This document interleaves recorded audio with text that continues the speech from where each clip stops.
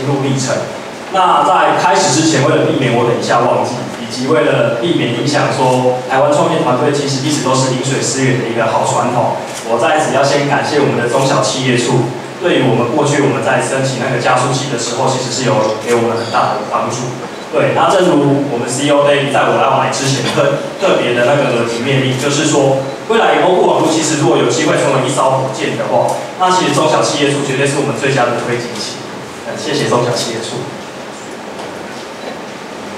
那欧布网络呢，其实呢是一直在围绕在就是行动 App 的开发。那我们是一个品牌发行商。那很呃，欧布网络在二零一三年的时候推出自己的品牌叫 Chocolate。那很多人就问说，为什么要叫 Chocolate？那其实一开始我们在二零一三年决定要推出品牌的时候，是五个大男生在一个会议室，我们决定要推出品牌。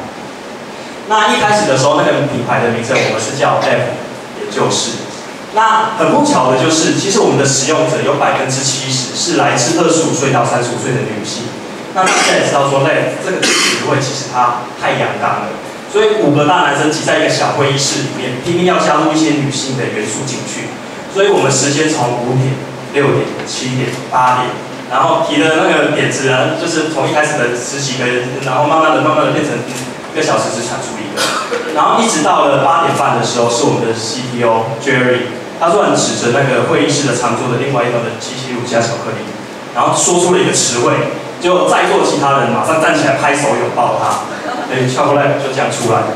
但我们事后再回想，到底当当时他只是肚子饿是讲出 chocolate，还是他是真正的讲出 chocolate 这个字，其实我们也不知道。但是可以觉得是很好玩的，就是说创业团队一直都会在遭遇很多就是一些问题。那这些问题的话，当大家在挤破头脑在想的时候，突然一个灵光乍现，哎，这个灵感就出来。那这其实是创业的时候，这个过程其实还蛮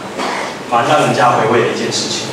那正如这张图，其实我们自从推出 c h o c o l a 这个品牌之后，一支产品的推出，其实都可以看到说，我们公司会有各个方群的人。不管是 R&D、Design 或者是企划行销，每一次产品在推出到使用者的一个面前的时候，我们会经过这分，就是这些专业的分工，然后确保我们推出给使用者的产品都是最佳的体验。因此，Chocolate 到现在其实三年半的时间，我们到目前为止，我们推出了五十八支的产品。除了提供使用者看剧以及听音乐的服务之外，我们有做出哎让使用者很快的得到他所要的资讯，包括说新闻啊或 PPT。还有春节这最应景的好想中乐透这支 app，哎各位，我们在大年初三的时候真的收到一个使用者来信，过去他在买乐透的时候，因为没有安装这支 app，他每次怎么买就每次都不会中。但是这个春节他装了好想中乐透之后，各位奇迹真的出现。这一次他对完之后，他还是一样都没有中。但是他在五末的时候，他其实提到了一点。就是说，这一次 app 其实帮助他在对乐透的时候，其实解决了他很多不便利的一些一些行为。那对我们来说的话，其实创业者我们在做的事情，就是在解决使用者的不便利。那其实即使他真的没有中，但是其实听到他这样子对我们说，哎，解决了他不便利的时候，其实对我们来说是很大的欣慰。对。那我们当然也有推出说一些交通类的一些，包括台铁啊、u b i。那我们也有跟知名的乐团的主唱，然后合作推出一系列的浪漫玩日本系列的 APP。那有跟曾经是誉为台湾之光的知名企业有一些合作，那这都是过去 F 呃 c h o l a b 在三三年半的一些成绩。那整个 c h o l a b 它从到底是从从什么时候开始？我们发现，哎，我们好像可以有一个故事出来了。其实故事是发生在二零一二年的圣诞节的夜晚。那时候我们的创办人 CEO 就是 David。他在一个人在圣诞夜的时候独自在办公室加班，突然在凌晨两点的时候，他突然打开窗户，他对着外面的星空呃祈祷，哎，也不是，应该是对圣诞老人，就祈祷说，希望未来 Chocolate 的业绩可以蒸蒸日上。结果那时候我们在隔天，我们推出的不好笑点钱，然后。三十秒让你笑出来，以及音乐 MV 看到这种这些一系列的产品，突然都使受到使用者的青睐，然后我们就发现说那个成长曲线就一冲的就冲上去了。因此，我们也在隔年，也也就是在二零一三年的时候，我们得到了我们第一笔募资。那当然，我们过去之前的我们的营收其实都一直徘徊在一百多万左右，但是我们在二零一三年的时候，我们的营收是翻两倍，来到了五百万。那跟在去年的时候，我们的营收也突破了千万。那今年 Chocolate 要挑战营收三千六百万。那这三千六百万，我们真的不是只是喊口号而已，我们有信心可以做到。那等一下后面我会跟大家介绍我们是怎样去做到这三千六百万的营收。因此，细数整个 Chocolate 的一个成绩的话，其实三年半的时间，我们推出了五十八支的 App。那其实将近有一半，二十七支的产品，其实我们都拿到排行榜的冠军。那我们每月的平均下载数是三十万，这三十万的话是代表的是我们的自然下载数，就是因为我们已经有推出自己的品牌，透过我们每支产品的一个互导的一个推荐下载，所以使用者他就会去可能下载我们今天电视连续剧二，他可能就会被我们推荐去下载我们的 U-Bike 让你骑。对，所以透过这个机制哦，其实我们不需要花费额外的行销资源，我们就可以每个月几乎可以保有至少三十万的一个平均的下载数。那当然，做 App 的最重要的就是在看的就是我们的每每个月的活跃使用者大概是有多少。那其实现在 Chocolate 的话，到我们现在大概是已经有大概一百三十万的一个活跃使用者。那总下载下载数的话，我们也超过了将近六百万。那各位，Chocolate 真的没有在卖巧克力。所以，我们所有的员工的所有的薪资，以及我们公司要成长的一些营收的话，的金钱的话，其实都是来到来自广告的收入。那我们光搞广告的收入的话，每个月有来到八亿次，八亿次，各位，我们有广告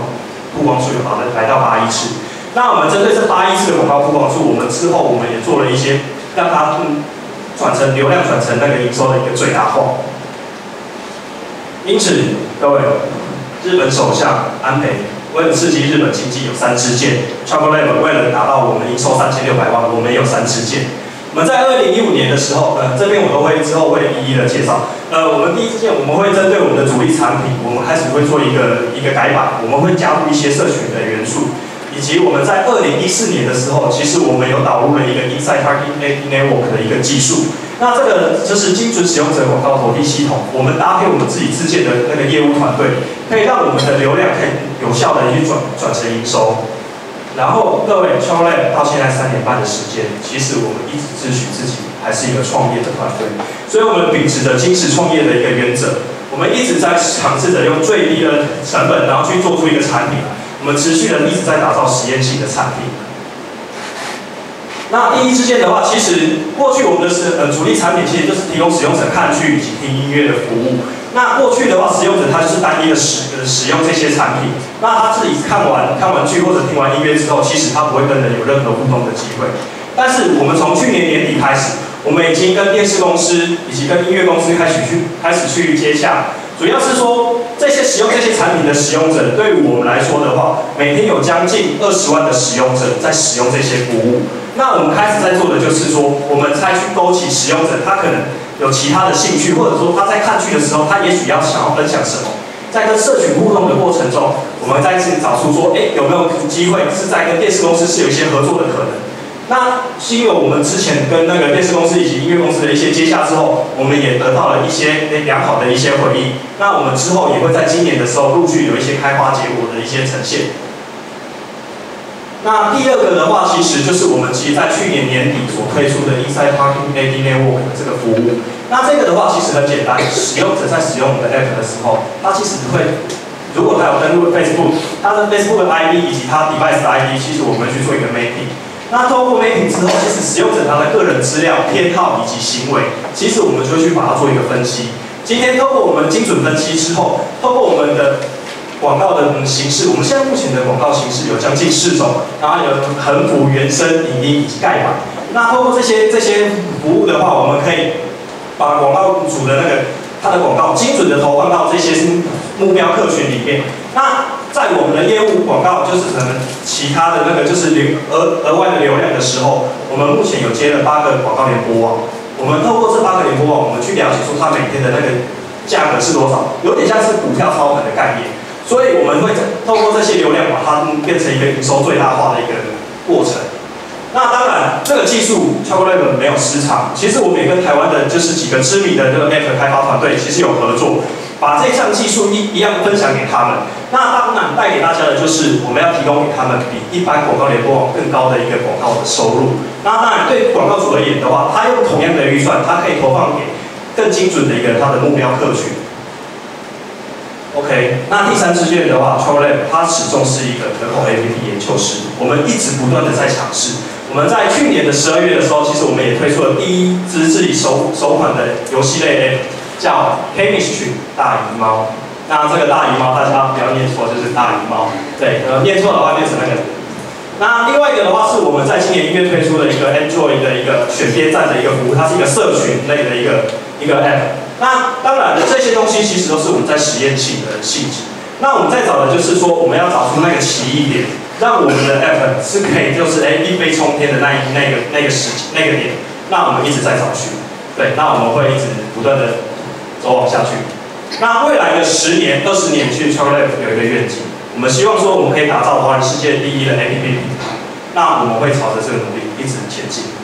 那最后打个广告，就是我们一直有在持续招募，就是有志的人加入我们团队。那欢迎各位，就是如果有兴趣的话，可以到我们的官网去查询。谢谢。